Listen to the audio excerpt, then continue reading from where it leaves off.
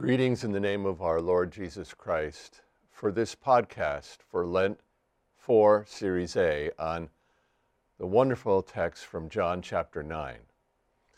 As you may remember from last week, I introduced these three weeks in Lent John 4, John 9, and John 11, these three long readings from John's Gospel, as being some of the most ancient texts in the liturgy, that they go back to the early church where they were used as the scrutinies to scrutinize those who were preparing for baptism, to see if evil had entered their lives in some way, how Satan had worked in their lives, and especially to uncover any shame that they might have that would cause them to feel unworthy to come into the presence of God, first at the font, and then, of course, uh, at the table. And so let's, let's look at these again very briefly and see how, how we're progressing in terms of these three weeks.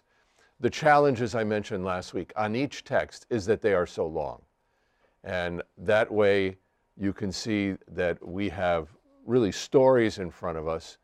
And the, the key to, I think, preaching on these three texts is to have a sense of how they work together and how they build in preparing somebody who is being scrutinized for the waters of holy baptism, which was, as you know, the original purpose of Lent, as a pre baptismal season instead of a, simply a penitential season. So, if we, we think about it here, we started last week with John chapter 4, where we saw the themes of Jesus as living water, and also that worship, true worship, is in spirit and truth. And we spoke about how that has to be worship that is centered in Christ. Now, even though this text does not occur in this sequence, I want to mention it that in chapter 6, the famous Bread of Life chapter, where we see Jesus speaking of himself as the bread of life. And, and so, at least in John's gospel, you're moving from water, and we talked about the baptismal overtones here in John 4. And certainly, even though it is controversial, you can't deny that, especially when you're looking at it from the point of view after the, uh, the death, resurrection, ascension of Jesus, and people are celebrating the Lord's Supper and looking back at the words of John 6, you can't help but see that there are Eucharistic overtones. Now, today we're going to look at John 9, and here you can see that the theme has shifted a little bit. Jesus is going to speak of himself now as the light of the world. And then in John 11, this is next week, of course, Jesus is going to say, having said, I am the light of the world, here he's going to say, I am the resurrection and the life. Now, think about the progression here. We start really by seeing this very sinful woman who has a very complicated, sinful life with all these husbands. I mean, you just, you just can see how she is, is looking for some sort of relief. And Jesus is that water that washes her and that shows her the, what true worship is. Um, what we're going to see today is that, that great text of the man born blind and how Jesus opens the eyes. And we're going to see here in John chapter 9 a number of significant themes. the open eyes, I'm going to show you how that is a refrain all the way through, that he has opened the eyes. But the open eyes comes by really very sort of overt baptismal acts. One is the anointing of the eyes with mud and how important mud is and the language of anointing, which is, of course, baptismal language. And then the washing, how he has to wash, and then his eyes are opened. Um, a very important, you know, tie to last week where Jesus is the living water. And then I mentioned this last week how titles are so important. And here I, I, put the titles in blue. You can see one of the first ones here is Rabbi, you know, And um, down below here, you can see just barely showing here that he is the I am the light of the world. So you have the, the, the title I am. But the titles in this particular pericope are Rabbi, I am. He is going to be like he was in the last text, described as the prophet. There is also and it's sort of climactic that he is the Christ. That's always an important one. And we end with Jesus questioning of him, of the man born blind, and, and describing himself as the Son of Man. And then finally, he is called the Lord. And I, and I want to I wanna, you know, highlight those, those titles. And, and this might be a, kind of a way to preach on the whole text. You can go through and, and, and look at each of these titles and explain how these titles are gradually helping everybody to understand that Jesus is, in fact, the one who has come to be the light of the world.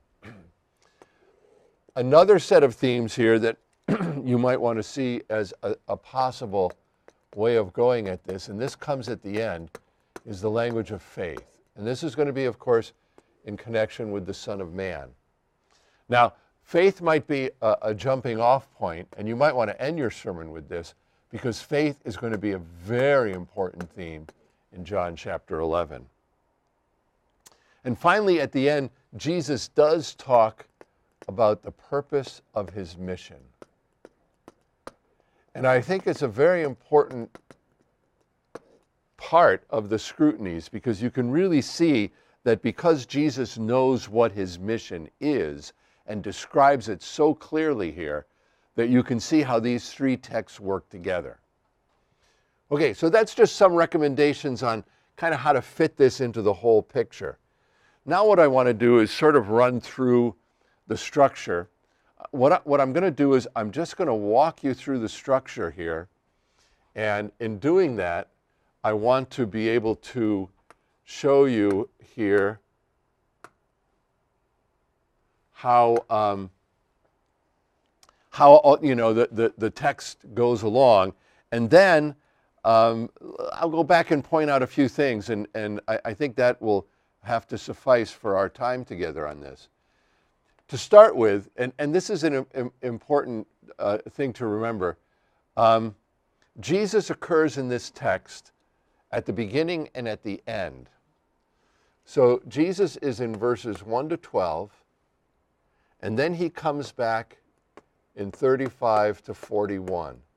And in the intervening part is all this questioning, either of the man born blind or his parents.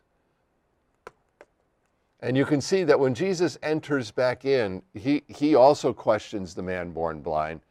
And it's, it's, a, it's a kind of a, an important moment to see you know, his re entering the text. So, just going through the structure here, you start with, with the miracle itself. Jesus heals the man born blind. Then the neighbors question the man born blind. I, I love the, the way this works. Then the Pharisees question the man born blind. Then the Jews question the parents of the man born blind. And then for the second time, they question the man born blind. And then Jesus now enters into the text again. He questions the man born blind. And then finally, the Pharisees ask Jesus, Are we also blind? And that, that brings us to the end of the text. Now, you, you can see that a vast majority of this text is the questioning, you know, about where this blindness comes from. Now, let's, let's, let's look at, in many ways, the miracle is the most important part. And, and you could probably spend your time uh, talking about this miracle. And, and really, I mean, that, you, the first 12 verses would almost be enough. You have two titles for Jesus here at the beginning Rabbi, and then, of course, the, the evangelist describes him as Jesus. And even though this doesn't seem like a title, I, I think it, it might be the most important title here. I am the light of the world. It's not an ego eimi, but it is an eimi. I am the light of the world. But the key to this text is right, I mean, the first part here is, is this part here about the works of God. And notice that it is necessary. Now, I mean, that, that, that, that dei has a marked meaning in, in certainly the synoptic gospels, and I think it, it carries over here that must, that divine must, that part of the, the plan of God that must take place. You know, it is necessary for us to be doing it, it, the works of God, it is necessary for us to be doing because of the one who sent me. I didn't translate that very well. Uh, let me translate that again. We must work the works of him who sent me. You know? Better translation. But the works, and, and of course, when you hear that language, and you've heard you hear it in John chapter 5 as well, we're talking here about the bringing up, the bringing in of the new creation through the atonement. And in many ways, it is the opening of the eyes the opening up of the eyes. I mean, the works of God are to reveal who Jesus is. And, and I, I, I really, in many ways, cannot emphasize that enough. Now, if you look here, let me, I'm getting my if you look here how this text then goes on here, okay, you have the actual miracle here in verse 7. Actually, I, I misspoke myself. Jesus occurs in the first seven verses. I, I, I misquoted that because he leaves here after this verse. So I apologize for that. Okay, so take that back. He, he occurs in 1 to 7. Okay, now, now here is, in a sense, a, a baptismal moment here. And I mean, you've got the language of um, anointing here. Here, the mud. I put the mud, how often the mud occurs. It's amazing how often that occurs, you know, the, the spitting in the mud. But here's the washing, you know. And, and it's the pools of Siloam, so it's, it's like a baptismal font, you know, the, the sent ones. I mean, it's, it's really quite a remarkable moment. And I think it's important to recognize that in many ways this is sort of the climax. This is where the eyes are opened. And here's the language of washing and seeing. Okay? We'll come back to that because it's such an important part of this, this text and it is part of the rhythm of this text.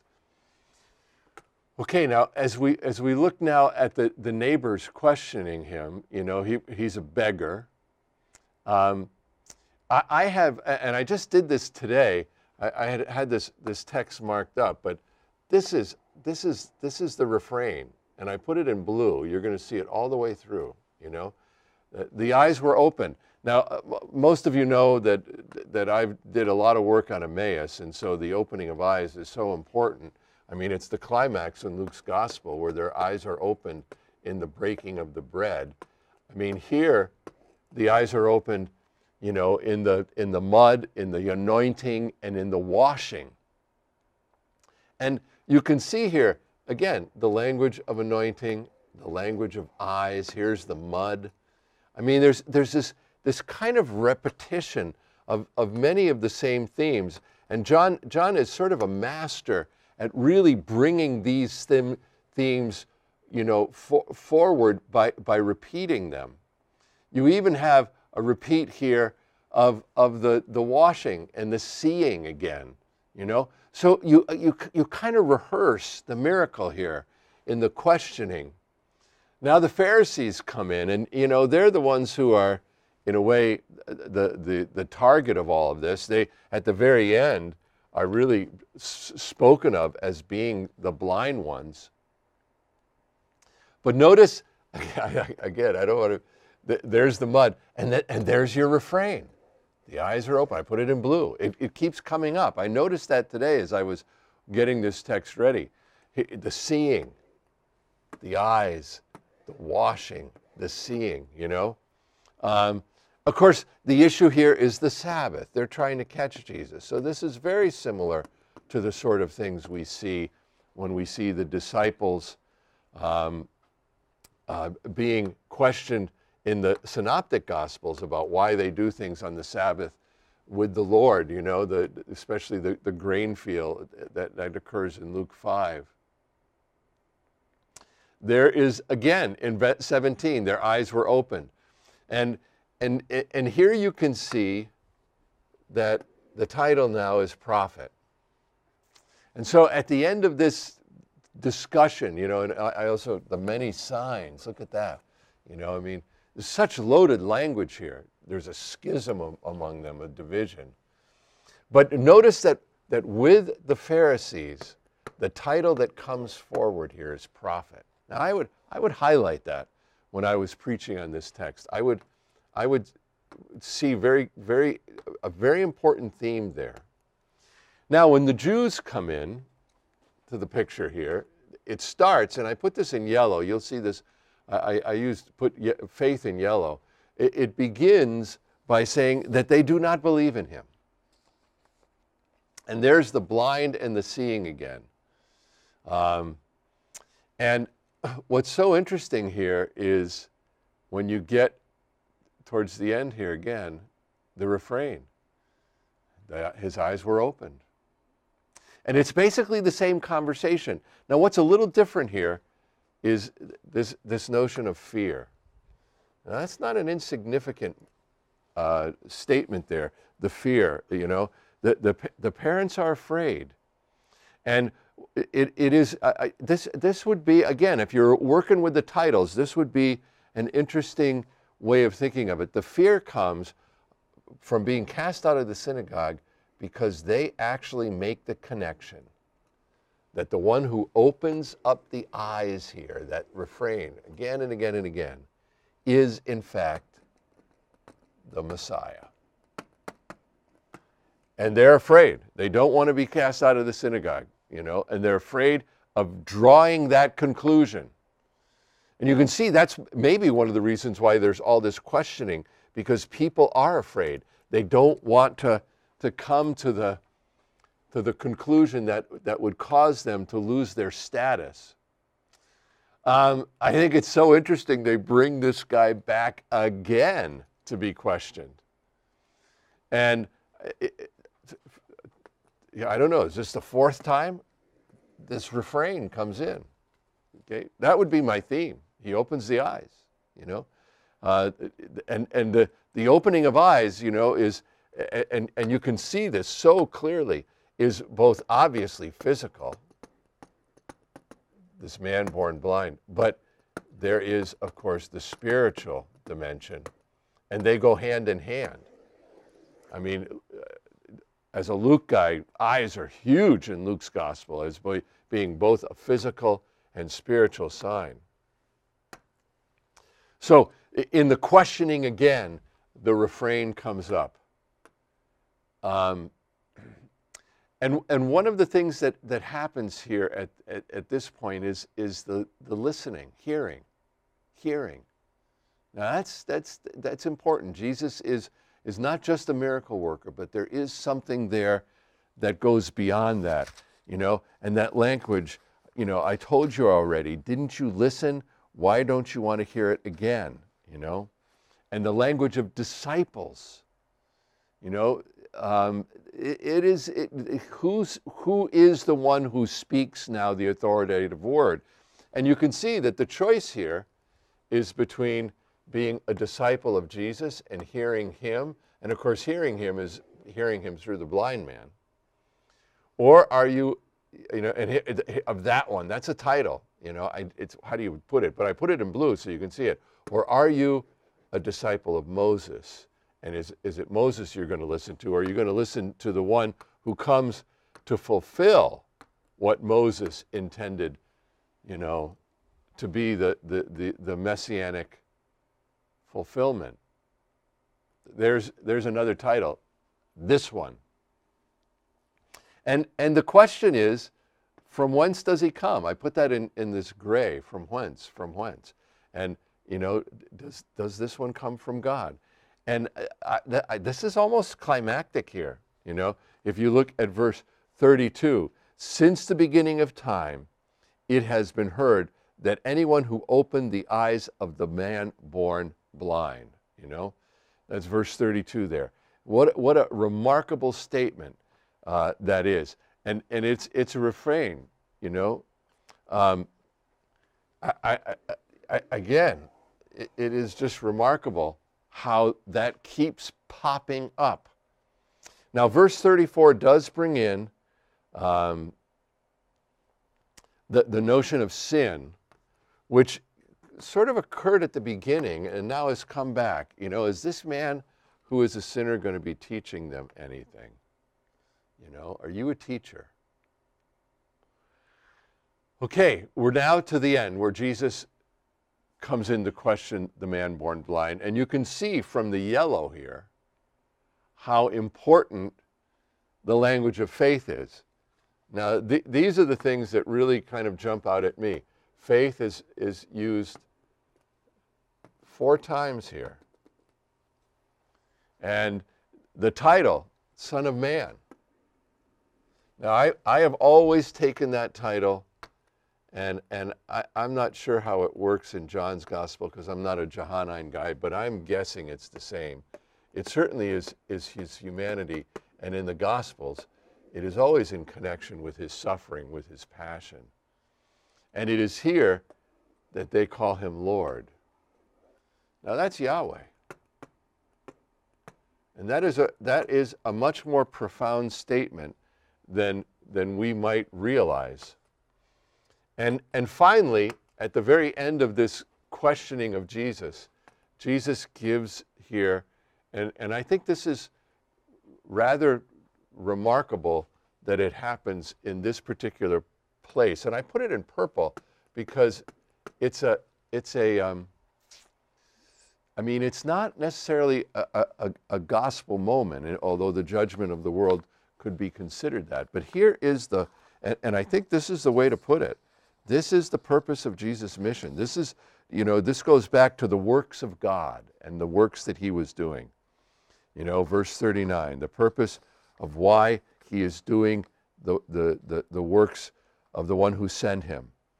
And 39 is, is a profound verse. For judgment I came into this world, in order that those who seeing do not see, and that those who see may become blind. Now, you know who he's talking about there. You know, and, and, and this, this, this is, a, this is a, a, a, huge moment of law for those who are rejecting him as the one who opens up the eyes. And he is directing that directly against the Pharisees, you know. And the Pharisees are certainly the object of that statement about the, you know. Now, uh, when you do judgment of this world, it's Jesus who is judged. I mean, the justice comes on the cross, and the judgment of God is against Jesus for our sins, for the ones who are born blind. But, but, but look at the language. I put it all in purple here because this is, this is very, very, I mean, it's, it's very sad, you know, and, and it's in the sense that it's a deeply lost section. You know, the Pharisees who were with him heard these things and, and they say to him, you know, are we the ones, are we not blind too? Are we? Are we not blind? And then Jesus says this to them, and it's a hard saying. If you were blind, you would have no sin. But now you say, We see, your sins remain. Now, in a way, what you might say is that they're stick, still stuck with Moses, and they don't see that Jesus is the Christ, you know? And, and in that way, they are blind and they cannot see. You know, a lot, a, lot of, a lot of biblical texts end with what we would consider to be a law statement. Um, anyway, I, I have gone on too long. It's a long text, but I think there's so much here that you could kind of cull down into a, a, a very crisp, direct sermon in which you can focus on the, the great themes that Jesus is the light of the world, and he is the one who, through his death and resurrection, opens up our eyes.